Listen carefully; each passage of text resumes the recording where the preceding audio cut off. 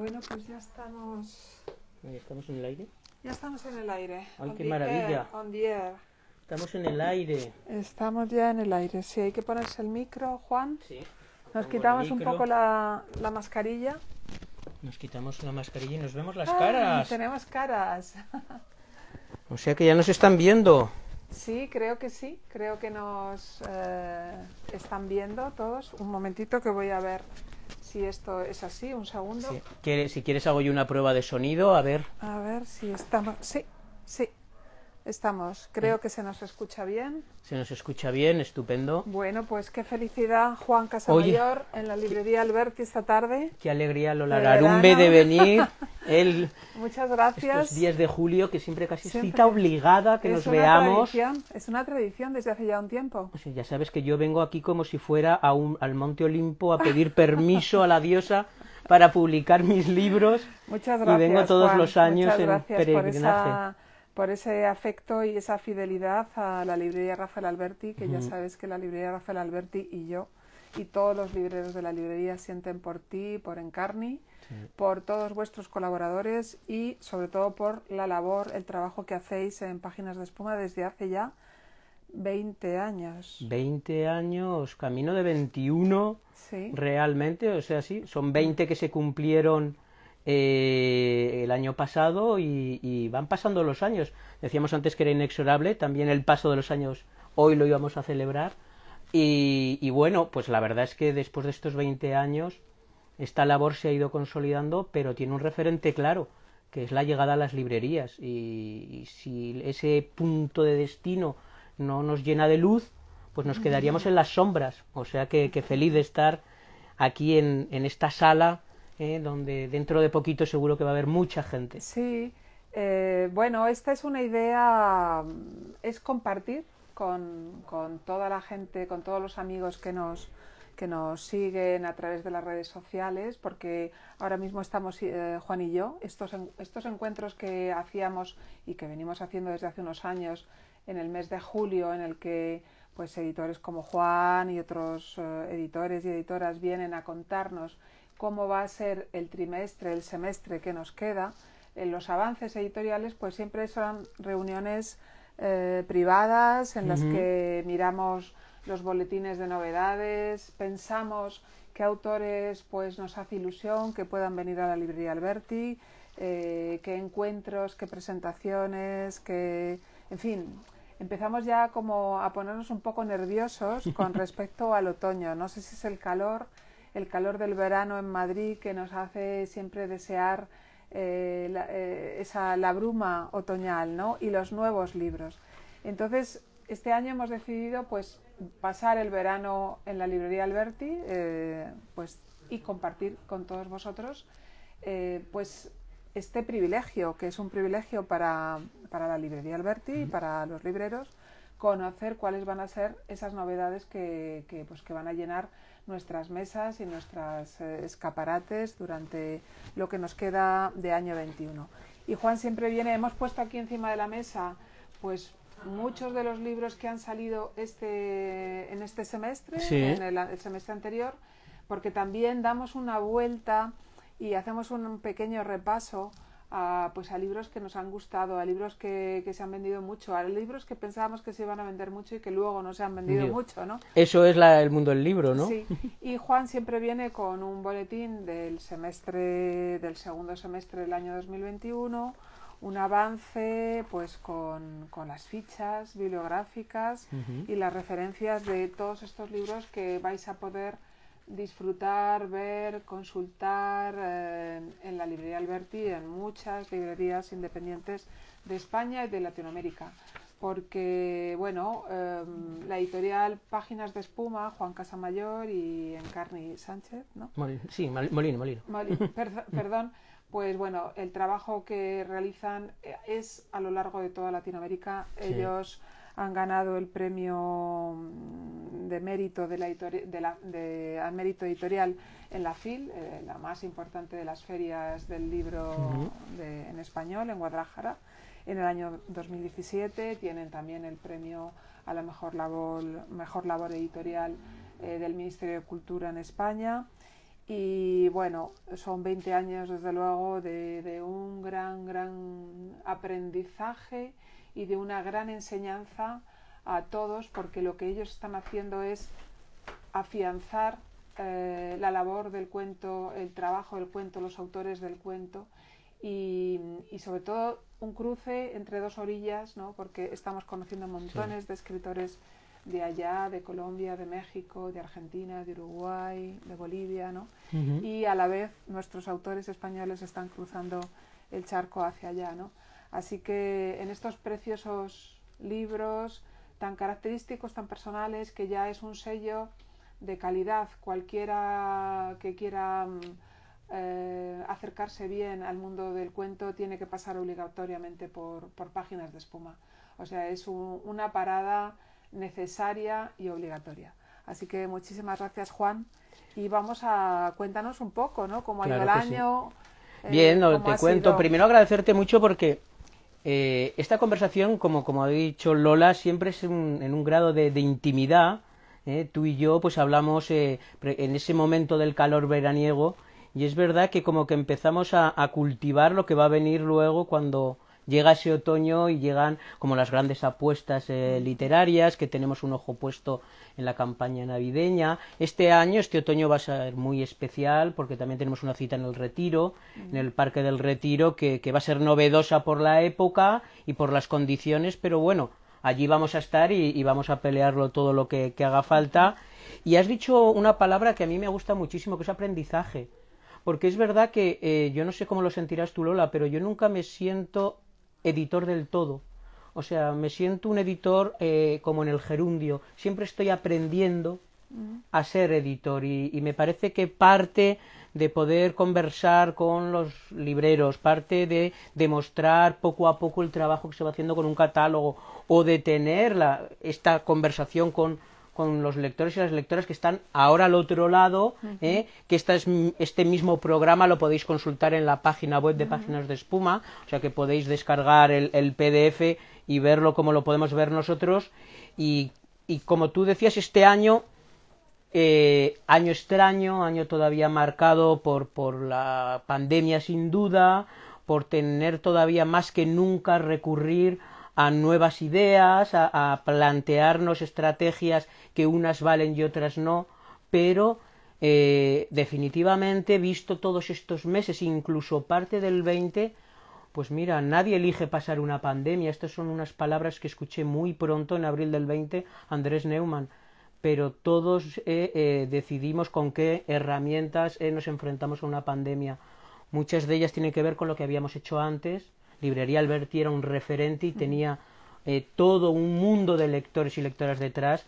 Páginas de Espuma, desde su militancia en el cuento, es verdad que tiene un público muy fiel, un lector muy reincidente, muy abierto en la mente para poder leer.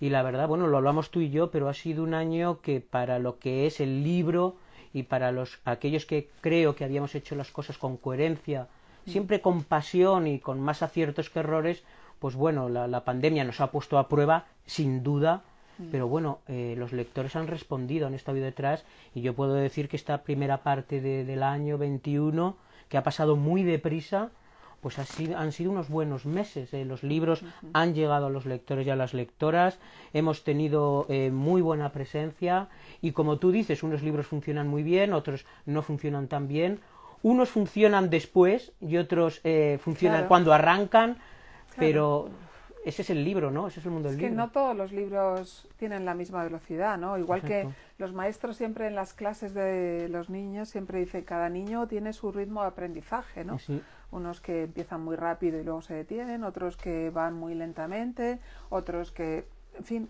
yo creo que cada libro es un mundo también, ¿no? O sea, intentar eh, pretender amortizar el coste de edición de los libros en seis meses, eh, todos, me parece, ¿no? Un, es imposible. Un estrés, un estrés para el sistema, un estrés para las librerías, un estrés para los editores, ¿no?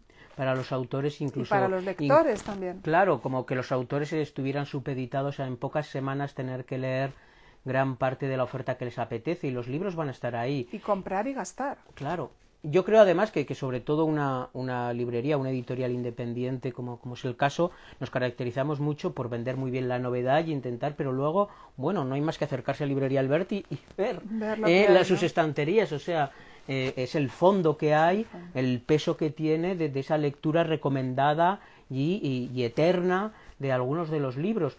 Y luego los libros es que están supeditados a, a, a mil casualidades ¿eh? una es la evolución, por ejemplo, de un escritor a lo largo de los años que puede ir recuperando parte de su obra y, puntos de fractura que hacen que un libro que había pasado a lo mejor más desapercibido de pronto se construye a sí mismo o se construye silenciosamente como un susurro de boca a boca entre los lectores y de pronto te encuentres con que el libro se está vendiendo muy bien. No hay que olvidar que no hay mejor recomendación que cuando un lector se apasiona y dice, oye, tienes que leer esto. ¿Eh? que eso es un poco el trabajo que hace quien lee, ¿no? ¿Eh? Eh, y de las librerías hacéis precisamente ese trabajo que yo creo que ahora más que nunca lo habéis hecho en este tiempo de, pandemia y de confinamiento, esa recomendación directa. La verdad es que el, confinamiento nos sirvió a todos para pensar qué habíamos hecho, cuál era nuestro trabajo, mm. para qué servíamos, ¿no?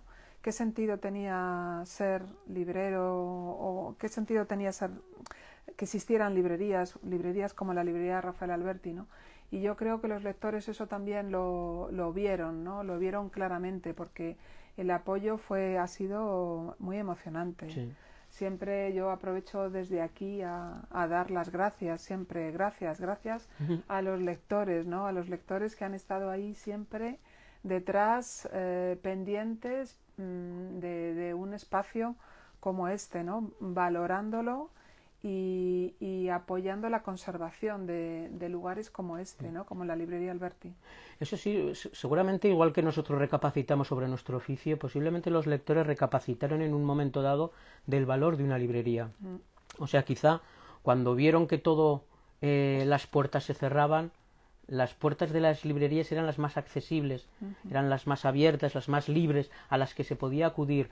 Yo recuerdo que en abril del, del 20, que parece que es lejísimos, pero era hace un año, hicimos el curso express de edición. El éxito de ese curso, sobre todo, radica en la voluntad de los lectores de querer apoyar a las librerías. Porque ese curso nació con esa idea.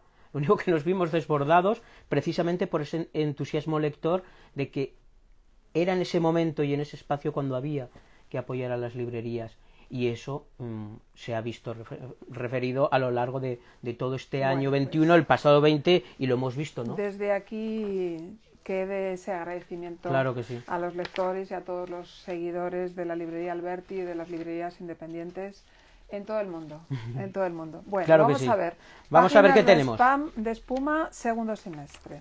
Vale, pues eh, el segundo Lo tienes organizado cronológicamente. Lo tenemos eh, mm, eh, ordenado por, por meses. ya insisto, en quien vaya a páginasdespuma.com puede descargar el PDF. Lo podéis mirar si queréis luego, porque la página web de Páginas de Espuma está muy bien súper actualizada, muy al día, tiene muchísima información complementaria. Subimos noticias. es una buena herramienta para estar al tanto de, del mundo del cuento y de los grandes escritores y escritoras. Claro, podéis comprar los libros a través de todostuslibros.com o podéis, podéis comprar ahí los libros, podéis pinchar, está el enlace y podéis acudir. Y en la librería alberti.com también. También. Eh, hoy toca ir a librería.com porque todos los libros están ahí. Hoy, este ratito al menos, este ratito al menos. Por supuesto que también es la plataforma de las librerías independientes en España.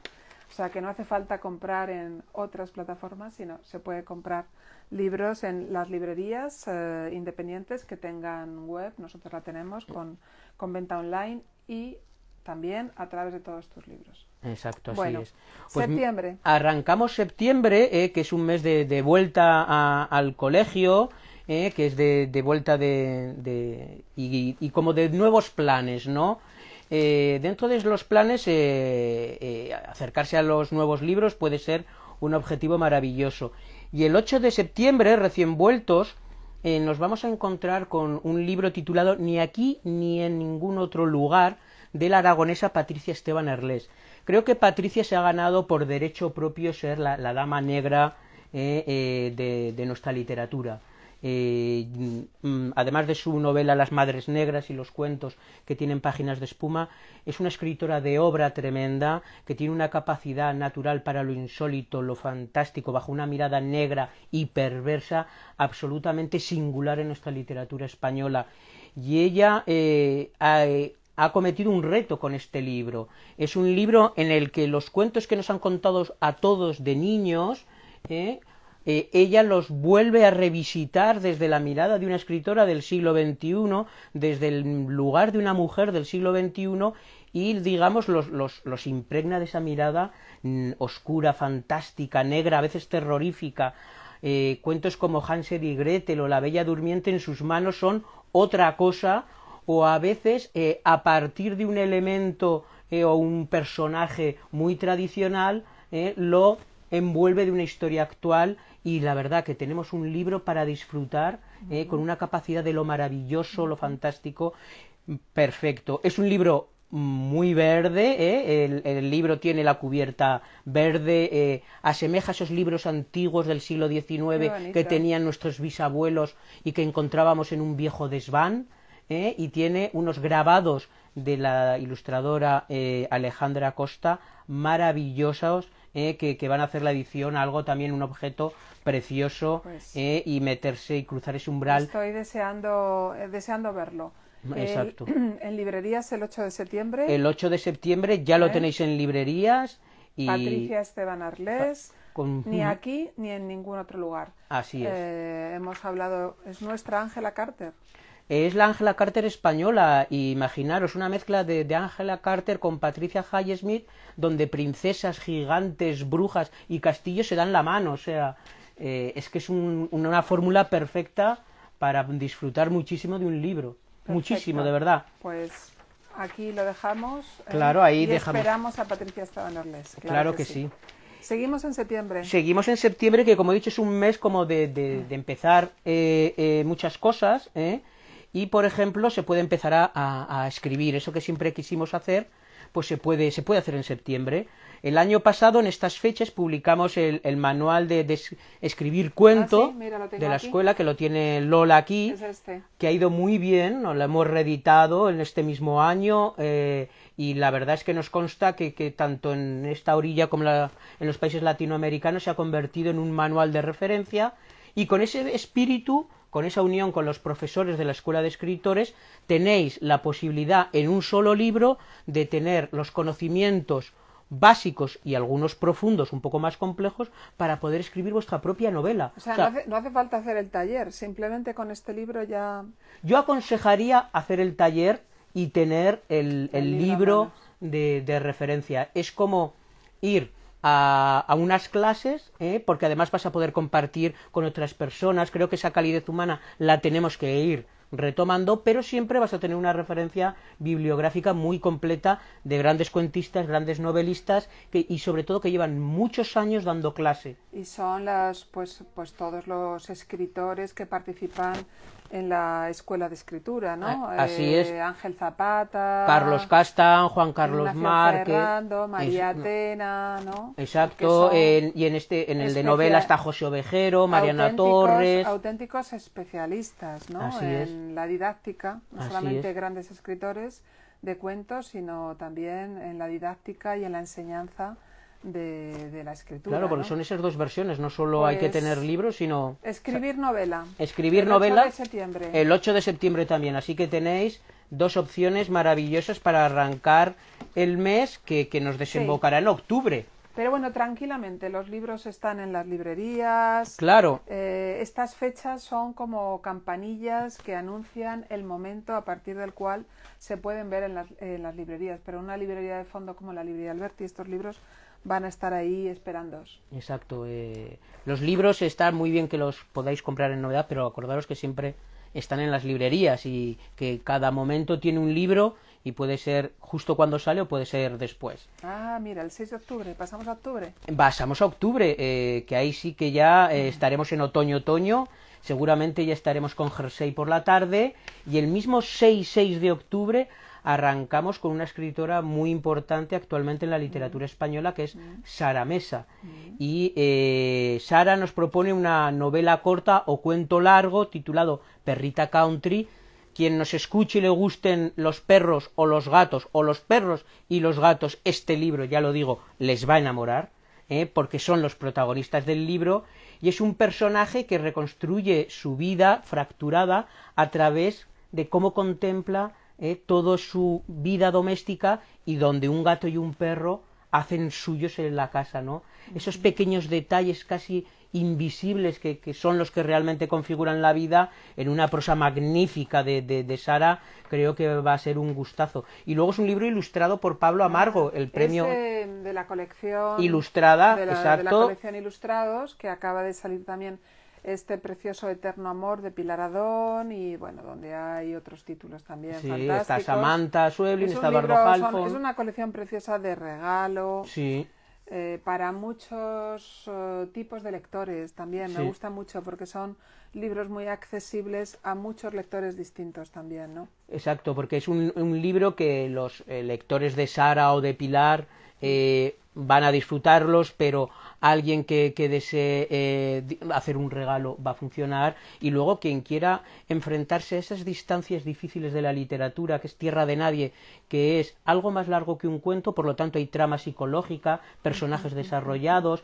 tramas muy evolucionadas, pero también con la contención de la novela corta. Y de verdad que cada texto es un pequeño milagro y de mano de Sara o de Pilar este año ha sido un año magnífico, Magnífico, para estos sí. libros así Sí. que os recomiendo mucho que conozcáis a la perrita country eh, eh, que va a ser de verdad un, un- un motivo de, de alegría y, y de verdad que lo vais a disfrutar muchísimo Muy bien, pues seguimos en octubre. Hemos dejado a Sara Mesa y a, Pat- y a Patricia. exacto Y estamos en octubre con Edmundo Paz Soldán. que nos trasladamos a Bol- nada más y nada menos, un escritor, posiblemente uno de los grandes escritores latinoamericanos actuales, con una trayectoria en novela larguísima, ya cuenta con una decena de novelas, cuenta con al menos seis libros de cuentos, eh, es uno de los grandes, y la verdad es que este último libro suyo, La Vía del Futuro, imaginaos que en una misma coctelera os meto una iglesia cuya fe es la inteligencia artificial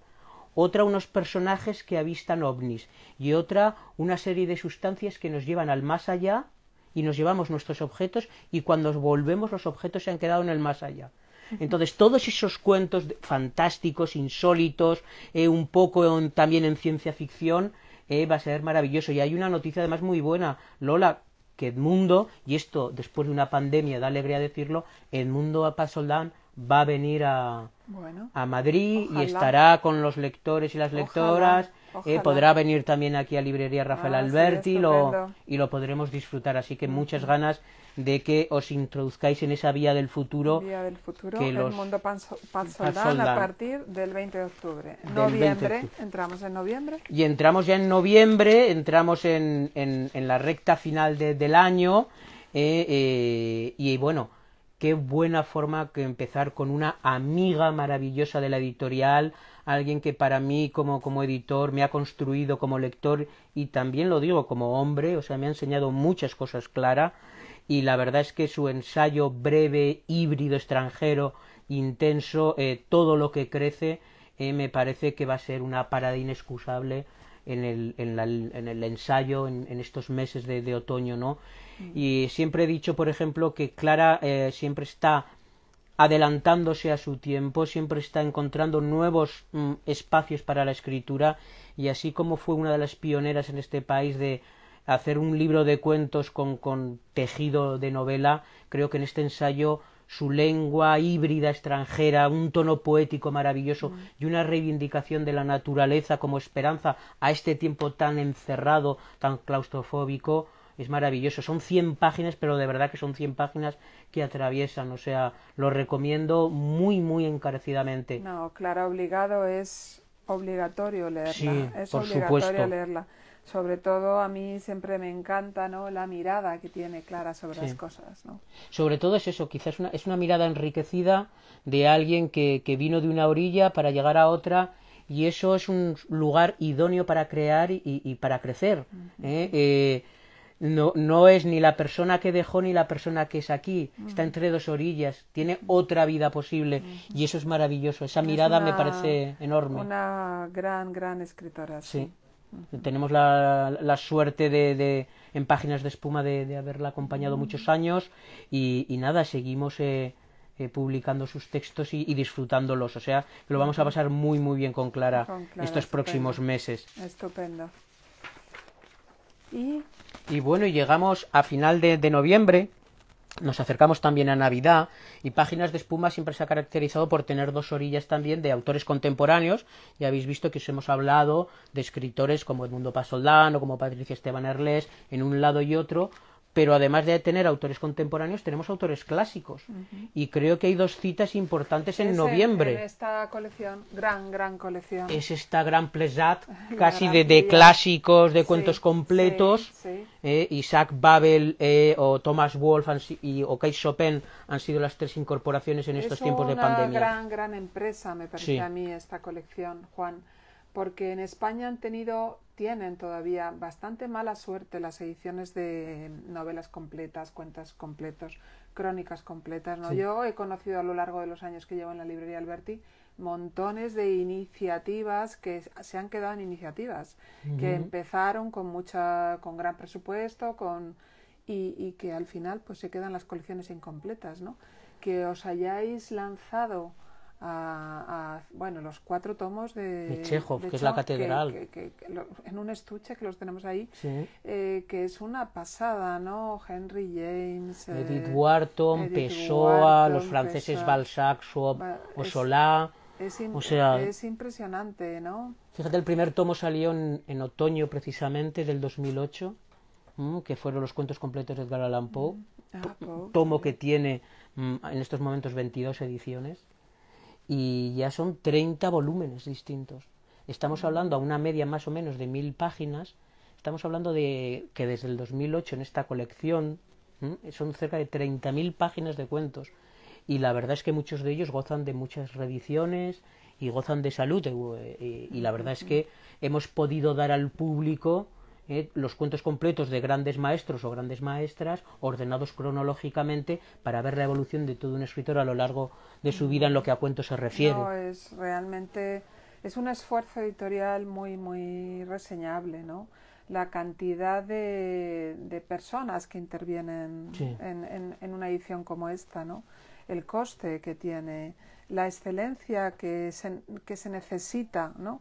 Para buscar todas, para rastrear todas esas ediciones, esos cuentos. Entiendo que la edición de los cuatro volúmenes de, de Chekhov es un, es un trabajo Ese- impresionante, ¿no? Muchas veces los, los lectores se encuentran con los libros en las librerías y no se calibra bien, ¿no? Claro, por ejemplo, el, el proyecto de Chekhov que nombras, o sea, eso tiene un nombre y un apellido que es Paul Viejo, Paul Viejo. que desde que tenía 14 años le, le apasionó y tuvo que ser cerca cuando tenía más de 30 años, cuando empezó, ya tenía treinta y tantos, o sea, ya estaba preparado para poder coordinar y editar todas esas 4.000 páginas de Chekhov. Es decir, ese libro, ese proyecto, es fruto de, de una pasión de toda una vida. Eso es lo que hay al final, en ese pack es lo que hay, ¿no? Y eso nos ha pasado con Eduardo Bert y Henry James, o nos, nos ha pasado eh, con todos los traductores que hay, con Isaac Babel, ¿no? Sí. Es en esos proyectos que, bueno, están ahí para toda la vida. Claro, claro. Y, Bueno. y si quieres eh, podemos hablar de los de los que vienen en, en Sí, noviembre, Por supuesto, claro. porque noviembre viene marcado por dos eh, bicentenarios es- Sí. y de nacimiento. Uno del gran Fyodor Dostoyevsky, maestro de maestros rusos, y en este caso son el diario de un escritor que es como su diario eh, de, las, de lo que él iba publicando en un periódico y reúne todas las crónicas, artículos, críticas y apuntes. Hablaba pues del conflicto que Rusia podía tener con Turquía, la última ópera que había visto o el último texto que había leído de Tolstoy, por ejemplo. Todo eso eh, es un- una labor enorme. Son dos tomitos, son dos mil páginas. eh, eh, va a ser ¿no? con un estuche para que no se estropeen y bueno creo que va a ser dentro del bicentenario porque todo el mundo ha podido tener eh, eh, El jugador, Los hermanos Karamazov, Crimen y Castigo, eh, pero saber todo lo que había detrás de Dostoyevsky está aquí. Y creo que va a ser inexcusable este año decir, bueno, voy a empezar en otoño a, a saber quién era profundamente Dostoyevsky, ¿no? Eh, un, Chekhov era el hombre del detalle, de, de, la historia casi invisible, y Dostoyevsky quería ser Rusia. Y esto es diario, son los diarios de Rusia, me atrevería a decir. Sí, pues estamos, yo creo que este va a ser también un buen regalo. Sí, un regalo para Navidad, Navidad ¿no? y incluso un autorregalo, un o sea, autorregalo. si alguien se lo quiere autorregalar. Sí. Y acabamos este semestre ¿eh? con tantas propuestas, pues eh, antes de, de, entrar con vosotros en directo hablábamos de Madame Bovary. Bueno, pues eh, Madame Bovary bajo el seudónimo de Gustave Flaubert eh, vamos a publicar los cuentos completos bajo la edición del gran conocedor de la literatura francesa del 19, que es Mauro Armiño. Yo recomiendo de verdad encarecidamente esta, este aliento, no, no, muy breve, porque sus cuentos son largos, pero este, este aliento que eh, retoma al gran autor de Madame Bovary, y bueno, esperemos que también de unas alegrías enormes para completar sí. una bibliografía abundante. Claro que sí. Si en Francia se va a celebrar por todo lo alto, o sea, imagino, va a ser un, un, año importante para ellos. Flaubert es lo, de lo más importante bueno, que aquí tienen. celebraremos eh, merecidamente la edición de estos cuentos completos de Flaubert, ¿no? Sí. También y, y este centenario, bicentenario. ¿no? Bicentenario ya, bicentenario. bicentenario ya. Los años pasan inexorables. Pues hombre, un segundo semestre lleno de, de pequeñas alegrías Sí. y grandes y grandes alegrías, ¿no? Eh, me encanta, me encanta esta combinación de los clásicos, de los escritores importantes latinoamericanos, de los escritores importantes españoles, ¿no? Sí. Bueno, el catálogo de páginas de espuma es, es una gloria pasearse por él, ¿no? Te lo agradezco, sí, No, hombre. Muchísimas gracias. Y nada, y únicamente, bueno, eh, que os, Vamos eh, a- mañana y pasado hay una sorpresa. Sí, sí, eh, sí, porque sí. julio eh, tradicionalmente es un mes poco de páginas de espuma para publicar. Creo que lo hemos hecho dos veces en estos 21 años. Pero este año extraño hemos querido sacar un nuevo libro que son los cuentos completos de, de Armonía Somers, que aquí, aquí. tiene eh, de una Un forma avance. un avance, eh, Lola, porque lo, lo tiene que tener, porque es un libro que sabemos que, que va a disfrutar. Y a muchos a lo mejor estáis preguntando, ¿quién es Armonía Somers? No lo sé. Pues yo os digo, eh, Armonía Somers es una escritora uruguaya eh, que yo conocí profundamente a raíz del proyecto Vindictas, cuentistas latinoamericanas, que coedité con la UNAM y, con la- y trabajé con la editora Socorro. Venegas, exacto. Y ahí había un cuento de Armonía Somers. Y de verdad, si os gusta Clarice Lispector, si os gusta eh, eh, las escritoras eh, argentinas actuales, tenéis que recalar en esta madre uruguaya que les ha salido a todas estas escritoras actuales, porque si reconocéis fuerza literaria actual, eh, el cauce viene de antes y ellas lo reconocen, lo reconoce Mónica Ojeda, lo reconoce Samantha Sueblin o lo reconoce Cristina Rivera Garza. Os recomiendo que sumerjáis en el, en el mundo de Armonía Pues Somers, que es un mañana. imaginario enorme. Mañana, lo lo tenéis. tendremos ya oficialmente. Este era un avance un poco pues para que para que nos fuéramos acostumbrando al tacto de esta bella edición. Eh, mm, bueno, el libro trae no solamente trae unas eh, reproducciones, ¿no? Sí. De los originales. Eh, podemos ver su su letra manuscrita, que a mí me encanta ver siempre la caligrafía de los escritores, ¿no? Sí. Eh, De hecho, se puede jugar a ver cómo eh, se publicó el cuento y cómo fue su primera versión escrita, qué cambios hubo. Es un, un juego interesante que propone también el, el libro, sí. Ujú. La edición es de María Cristina Dalmagro, ¿no? Sí. que es una especialista en la obra de Armonía Somers. Correcto, sí, de la Universidad de Córdoba, Argentina. Argentina. Y bueno, este es un libro importante Sí. aquí y allá. Exacto. Eh, creo que se va a mm, convertir en una voz mm, importante en, en Latinoamérica, como últimamente venimos recomendando, pues desde, desde Sara Gallardo, Elena Garro, María Luisa Bombal, eh, María Luisa Puga, todas estas escritoras eh, que, que ahora empezamos a reconocer eh, que, que el canon no es entero y que ahora hay que abrirlo. El canon y- estaba un poco limitado. un poco limitado y ese poco le vamos a poner muchas comillas. Pues- Así que bueno, ahí tenéis una invitación para este verano que es leer Armonía Somers.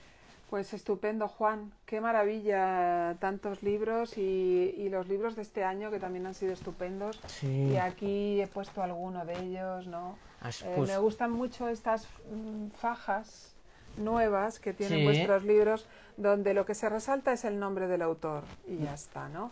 Y aquí tenemos a, a Daniel Monedero. Daniel Monedero, que, que, eh, es un, un artífice de la belleza literaria, Ajá.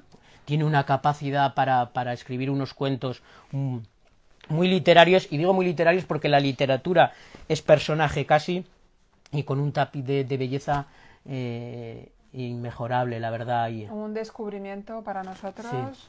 Katia Adawi. Exacto, esto es un poco lo- las locuras de páginas de espuma, o sea, yo viajé en el año 2018 a Perú y todo el mundo me dijo, tienes que leer a Katia Dawi, libreros, periodistas, bueno, voy a leer a Katia Dawi, acabé en Piura, norte de Perú, leyéndome todos los libros y le escribí un correo electrónico diciendo, Katia, si algún día puede ser, me gustaría ser tu editor. Os recomiendo muchísimo Geografía de la Oscuridad, un libro doloroso, un libro rupturista y de verdad un gran libro eh, de una escritora que va a dar mucho de qué hablar. Si, y, y aquí en España lo digo, si esto lo dijera en Perú no lo podría decir. Os diría el libro de vuestra gran escritora, eh, que es Katia Dawi. Luego tenemos también, por favor, Mónica Ojeda, que Bueno, sí, Mónica Ojeda, que... es que- ya consagrada, ¿no? Pese Una a eso. escritora ecuatoriana residente aquí en Madrid. En Madrid Lleva ya está... bastantes años, por suerte la hemos tenido también en la librería Alberti presentando Exacto. dos veces sus novelas. Es una escritora también muy, muy peculiar, con muchísima fuerza, muy Ujú. original y desde luego sus libros son una propuesta siempre eh, a un- en, en un viaje eh, para los que no tengáis vértigo. Totalmente. Y más, eh, o sea, para alguien que quiera volar, eh, Mónica Ojeda es la propuesta magnífica. Las voladoras es un libro de cuentos que ya sabéis que, que, que la ha entroncado y ha visibilizado ese concepto de gótico andino que ahora está tan, tan, tan en boca de todo el mundo y me parece que este es uno de los libros ineludibles que se va a ir eh, configurando a lo largo de las décadas, me atrevo a decir, como un libro importante. Y bueno, me estás tomando el libro de su hermana, entre comillas, eh, literaria. Fernanda Ampuero, Sí, que bueno, Fernanda también, un saludo a Fernanda, por favor, si nos estuviera escuchando por ahí. pues mira, puedo decirlo ya para si quieres, eh, para todos los lectores y lectores de Rafael Alberti, que eh, le mandamos un saludo a Ecuador, pero a partir de mediados de septiembre María Fernanda va a volver a vivir en Ah, Madrid. mira, cuánto me alegro. O sea que mm, ahora organizaremos algo aquí Sí, sí. rápidamente porque ya me estoy imaginando un encuentro de Mónica y María Fernanda en estas mismas sillas. Sí, por favor, sería estupendo. Claro que sería sí. estupendo. Y aquí tenemos a Cecilia Udave, Cecilia Udave es al- mexicana también. Exacto. Eh, Hemos hablado Udave. antes de Patricia Esteban Erles, que es como una maestra de lo fantástico en España, pues su hermana gemela es como una gemela del resplandor, ¿eh? sería Cecilia Udave, con unos cuentos atravesados literalmente por un agujero negro que todo se lo traga, incluso las historias de los personajes. De verdad, para, para meterse en un mundo insólito maravilloso. O sea que como veis... Buenísimas propuestas y, y como no podemos teneros toda, toda la Todo el tarde. catálogo, toda la además. tarde pendientes de nosotros. Vamos a terminar simplemente, bueno, Antonio Ortuño también. Que es el grande otro- mexicano. El grande mexicano que también está aquí. Que su cuento es más salvaje, su libro más salvaje, dicho por él. Esbirros, Sí, muy recordadlo.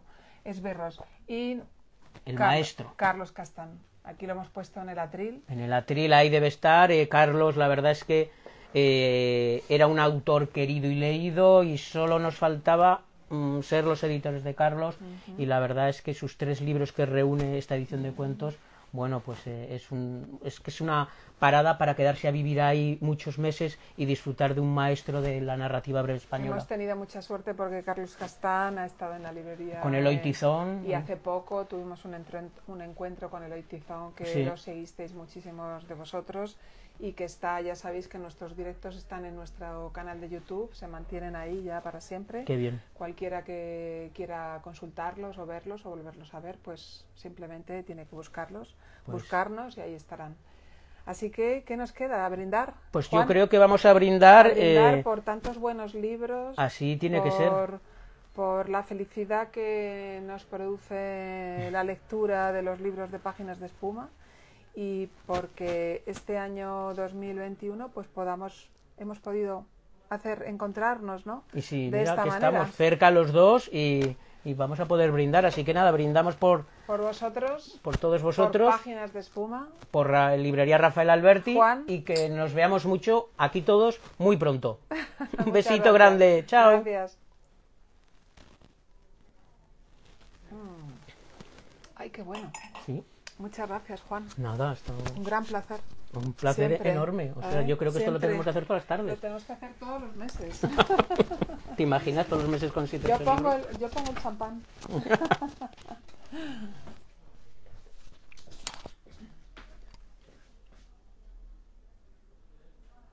Qué bueno.